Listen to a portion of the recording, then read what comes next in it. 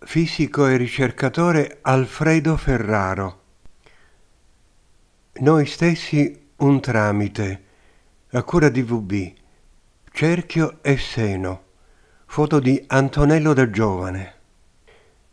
Antonello ha materializzato molti apporti nella lunga attività di questo cenacolo.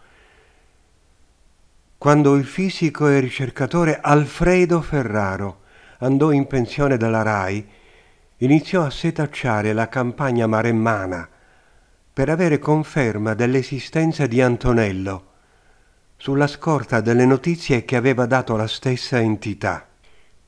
La conferma la ebbe dall'anziana moglie di Antonello, che all'insaputa della particolare ricerca di Ferraro, disse che il marito l'aveva fatta disperare a causa del suo alcolismo, vizio per cui era trapassato.